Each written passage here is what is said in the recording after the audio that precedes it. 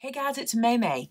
Thursday, we did a live show where we made these two cards. I say we, my husband and I, my trusty sidekick, Benny. We, um, I made these cards in the live show, but we are having internet issues that we didn't even know we were having, and it was causing my videos to be blurry, and that has been corrected now. However, I felt like I needed to refilm this for you guys because I think this is a fun card you're probably going to want to make, and the blurry monster was just too much. So here's what we're going to do.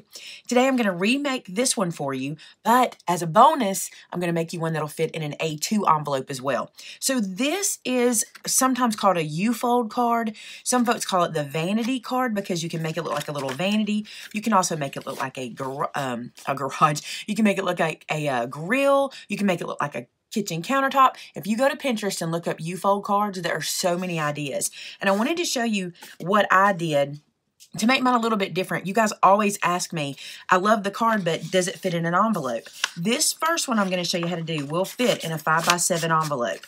So this is the 5 by 7 and these are standard size, so that's cool there. And then the second one I've done will fit in an A2.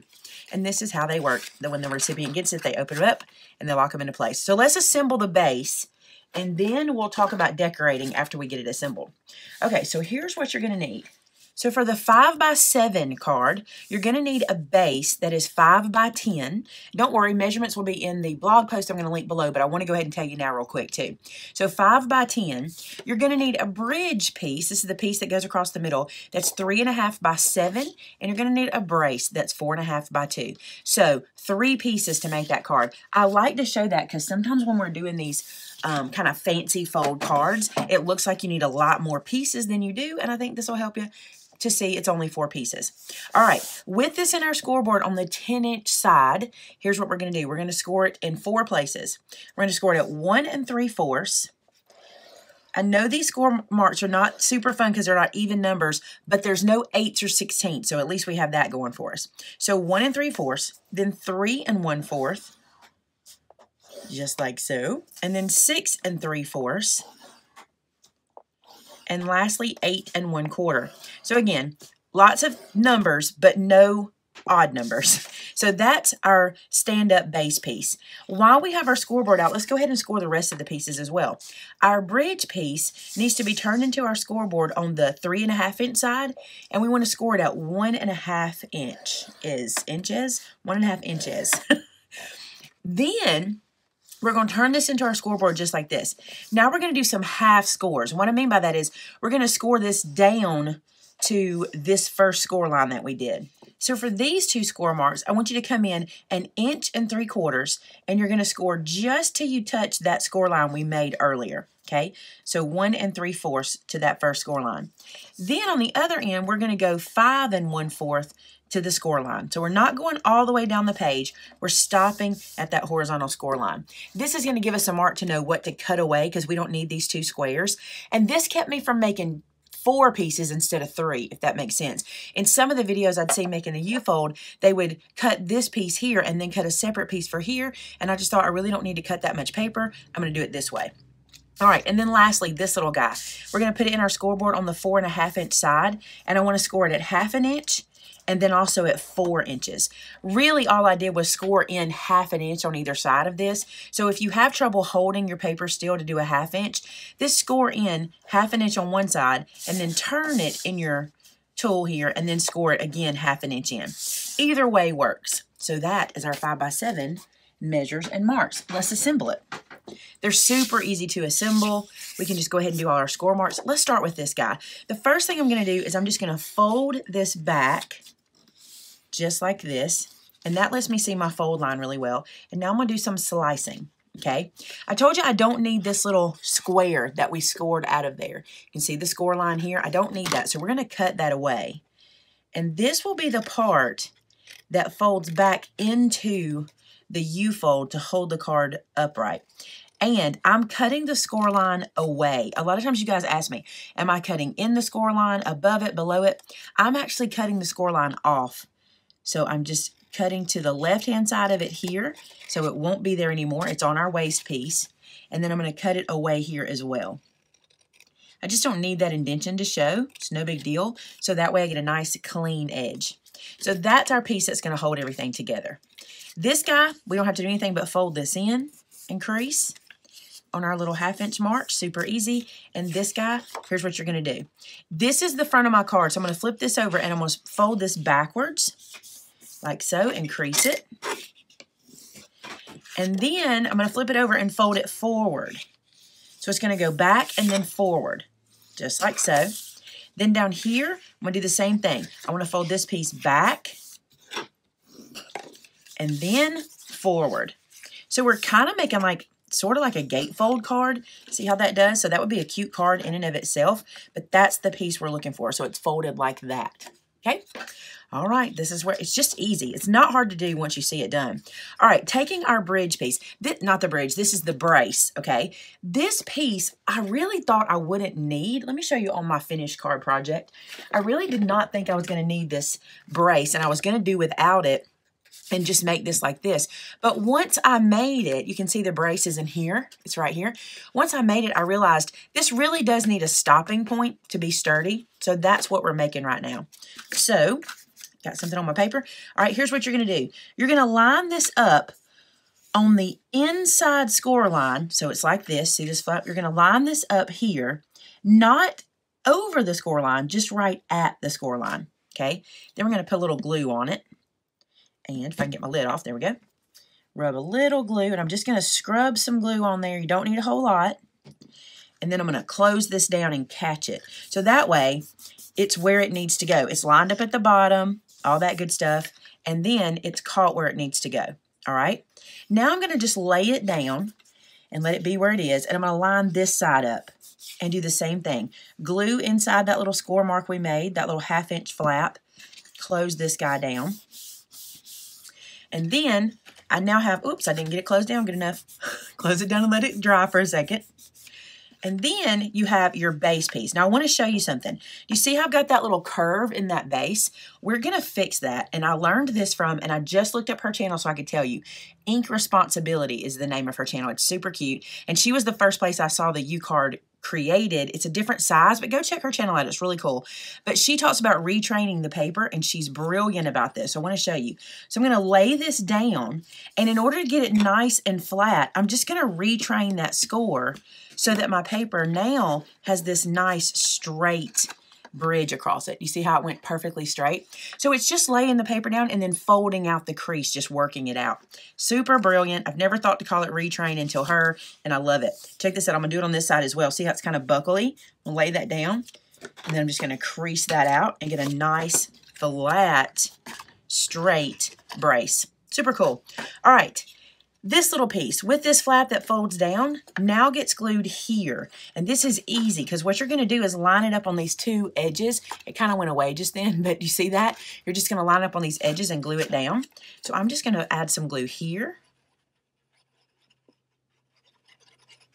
Just on this outside flap. And then I'm going to line it up to the bottom of that square there, that rectangle piece right here. Okay, I'm to flip this over and show you. I'm really just gluing it down to this bottom section. And this way I can rub it into place. Then it kind of lends itself to where it goes. Now I just need to glue this piece into place. So I can lift this up, get underneath here, and then glue this piece down, lining them up. Now, paper is not perfect. Paper crafting gets off. There's little bits that get off here and there. You're not going to have perfection. And you'll see here on this edge, I have a little bit hanging over. I'm not going to stress about that. I'm going to take my scissors, and I like to use I like to use these big long ones for this because I can really get to it. I'm going to take my scissors, and I'm going to slice that away just like so. So now we're nice and even, and that was a sliver that I had to take off. Okay, so now what we want to do is we want to retrain the paper again, like she talked about, which is super cute. I'm going to lay this, oh, I got to push this up. I always forget that. You got to push this piece up and then lay this down, and I've got a nice flat fold, but if you didn't, when you lay this down, just kind of work it and get your creases laying like they should. You can go in both directions if you feel you need to. See, I got a little more resistance here. So I think that was a brilliant tip. Then for standing it up, this goes in, and that is the base of the card. Notice how that piece pops up. We're going to fix that when we decorate. All right, so that's the assembly of the one that fits in the 5x7 envelope, and I'll show you that real quick.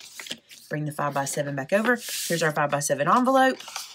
Of course, we will decorate this, but this guy fits in a standard 5x7. The only thing you need to remember when decorating is don't have your decorations coming off the sides.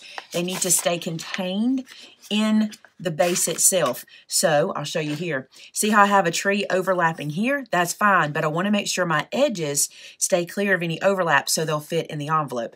If you're hand delivering this, go to town and let it be anywhere you want it. Let's put together the A2 size one, and then we will decorate.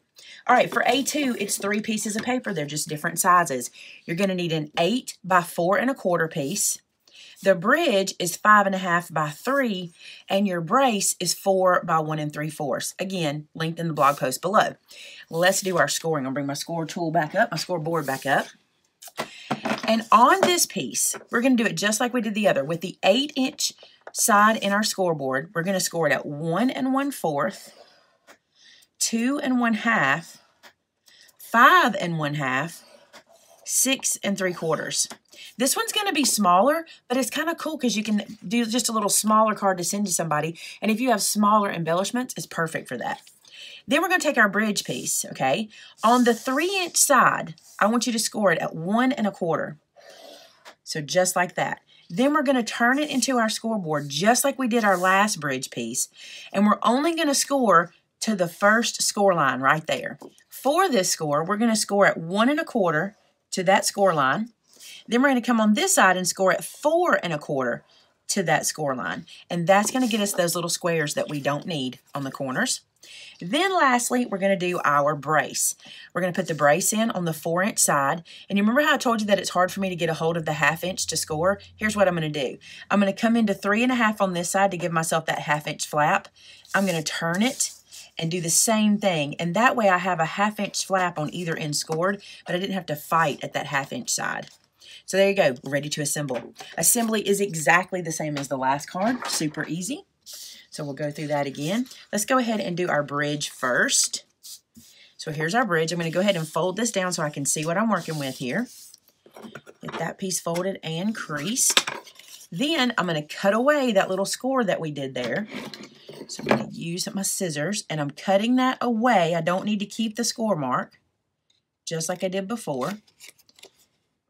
And then cut this one away, just like so. And then this side it's easy once you do it. You know, once you have the measurements, it's super easy. The hardest part was getting the measurements right so that it would fit in the envelopes. And that's what I wanted to do because every time I make a card like this, and I totally understand it, the question is, will it fit in an envelope? We want to mail them out, so that matters. All right, on our card base again, this is the front. So I'm going to flip this over and I'm going to turn this one backwards to start. Crease that down. We'll flip it back over and turn this piece forward. So that gets one side. Same thing over here. I flipped it over. I'm going to turn the first piece back. And then I'm going to flip it forward and turn this piece in. Again, this is a cute little way to do a card here. You could put all kinds of embellishment and have a little open up like this. But we are going to finish making our little van, uh, U-fold card. All right, with our little piece, just like we did before, I'm going to go ahead and fold these pieces to get the, the bend started. And then we're going to open this guy up. Now I'm going to lay it just like I did to the inside of that score line, just like this, touching it but not overlapping it, lined up at the bottom of the card. I'm going to add my glue to the flap. I'm going to close this down on top of it. And that gets one flap done. Then I'm going to open this guy up and turn this over to the other side. So now it's lined up where it should be and lined up at the bottom. Put the glue on the inside of that little flap we did and close this guy down. Same way we did. It's all the same, just smaller. Just like that. And now I can open it and this is where we'll do that retraining. See how it's curved in the middle? So I'm going to open it and push this down. And this one looks like it might need a good bit. Not too bad, though. Let's do that. So I'm just going to recrease that where it is. And look how that automatically straightens that out. Isn't that cool? Okay, next we can add our bridge piece just like before. Put a little glue on this, eh, this side. Slide the flap into the middle over the brace and then line this piece up on the bottom of the side flap. And I like to just turn it over and just seal that down like that. Just rub it down. And now you can see right over here, we're going to glue this side down just the same. So I'm just going to turn this over and hold this out of my way. add some glue to this little side. And then match this up. Again, if you have any hanging over the edge, you can trim that off. It's not a big deal. This one's not too bad, actually. There's a little bit. I'm going to trim that away. Just because I got scissors and I can. You don't have to. Don't feel stressed about it. No one would notice that. They're going to think this is the coolest card anyway. So there's the little sliver gone. And there we go. This is our tiny A2 U-fold. How cute is that, right? So when we do this and we close this down, we need to retrain anything. See how I've got a little buckle right there? I'm just going to rework it. Just going to rub that down. And then I can do it on the other side as well. And let me show you how this fits in an A2 envelope. So this is an A2 size envelope. Here's our little card. Get this tucked in here and this will slide in. Again, you want to make sure your embellishments don't hang over the edge. You want to make sure that they are tucked in nice and neat and um, all inside of the piece. Again, let's talk about this little piece in the back needs some help keeping it down, and that comes in the decorations. Let's decorate this one first. It's super cute. Let's see what we can do. All right, so this is the sticker sheet for, um, what's this one called? Hello Spring. I think it is so cute. And I want to decide what I want to use here in the middle. This is kind of cute if it would fit here. Let me get my ruler and check it. How tall are you? You are two and a quarter. And you are two and a half. So this guy would fit right there. Super cute. Or I could use the Hello Spring. It looks a little wide. Let's see how this one looks. Pick this up. I think it'll be cute right here. Yeah, it is. So I'm going to put that one right in the center. I'm going to have to hold it where I can look at it. So just like that. That looks like a little window and a bird sitting on a window, sort of, doesn't it? Now I need something to help hold this down. So I'm going to pick something here that I can sit on like the countertop and hold that down. This little sentiment that says good times is really cute, and I think it would sit right here really well and hold that down. The trick is you got to put some foam tape on the back of it. That's going to lift it up and help it to be a brace for that. So I'm going to go over here to Scotty. I really have decided to call my foam tape Scotty. I think that is adorable. And because it's Scotch and, you know, it works. So here's Scotty. We're bringing in Scotty. And then I'm going to cut some slivers of this foam and put this on the back just like so. And then peel off that protective piece. And then we're going to put that into place to hold things down. So here's what I do. I want to put it in that corner, but I want this to be nice and snug. Ooh, that was close. I want this to be nice and snug down. So I'm just going to push this into the corner, holding that into place. I think I can scoot it around a little bit. Get in there. There we go. Pretty good. And because it has that foam, now it will hold that down for me. So see how that's staying down so much better? So much better. Then I can decide what's going here. I really want to use this bicycle. I do not know if it's going to work, but we're going to try it. This bike with the balloons on this sticker is so cute. Oh, it's going to be perfect for right there. What I like to do is stand this up and put this down to the bottom. But since I want you to see what I'm doing, I'm going to do it from this side and see if I can't line this up pretty good by eye. We'll bring it all the way over here. So there's the tire or the back tire. Let's get the front tire lined up. Look how cute that is. And the only thing sticking out is this little bit, and I'll show you how I'm going to fix that in a second. That's adorable, right? And what's next? Let's do some more pretties. This little square says, I was made for sunny days. I think that'll be adorable right here in this little corner. This is what I love about sticker packs. It makes this so easy, almost like a kit, like a card kit. There's that. And then I think I'm going to do butterflies. There are so many little butterflies in this little um, pack. I'm going to stick butterflies all over the place. Like they are just flying everywhere. And just for showing you today, I'm going to stop there. Look how cute that is. And that was just stickers on our base, but you could do so much more.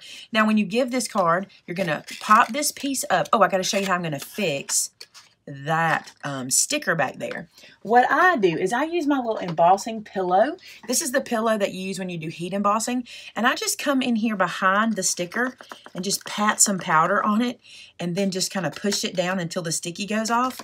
And this way I don't have to do it before I glue the piece down. I can just do the part that's sticking up and this works just fine. So now it's not sticky. That's perfect. And we can now close it and open it. So I'm going to push this piece up off of our brace, close this down, and it will now fit into our A2 envelope. So here's our envelope. Oh, by the way, you're going to ask me, where do you put your sentiment? You can cut a piece or you can just write back here, and that's where your sentiment goes. So here you go, into the envelope, and it will be ready for mailing. And it really shouldn't cost more postage. You're putting it in a regular size envelope. It doesn't weigh anymore. We use very little foam, just one piece. So this should be uh, good to go. So that one was the A2, and these are the bigger ones. I did it exactly the same, just putting stickers where I wanted them to go. I thought they were super cute. The only thing different, this is the oval punch from Stampin' Up. Let me show you. I think I got this before it retired. I'm not sure, but it might be retired now. But this is two by one and three eighths oval, and I just punched some glitter paper to make mirrors. That's all I did. The rest of this is all stickers. You can see that I popped these up so it would hold this into place. And then here, I popped up that little ladybug to hold that one into place. So that's all there is to it. Let's bring this guy back over. And you can see that I use pattern paper for that one instead of the solid, but when I'm filming, solid paper is better so you guys can see what's happening on screen. Can you see that little guy? There we go. so there you go. 5x7, A2. I think they're super cute, and I cannot wait to see what you guys do with these. When you make these, we want to see them. Head to our website, which is maymaymadeit.com. Go to the More option and click on Gallery. That's where you can share your photos for everybody to see, and they can be inspired by what you're doing. And if you need some inspiration, that is an incredible place for you to go check out. You can also check out our Facebook group, which is called Maymay Made It, and so did I. There's an, some amazing inspiration there from years and years of incredible crafters loading pictures to show you how they use uh, the projects that I do. Hey, thanks so much for watching. I hope you have an incredible weekend, and I'll see you again on Tuesday. Talk to you soon. Bye-bye.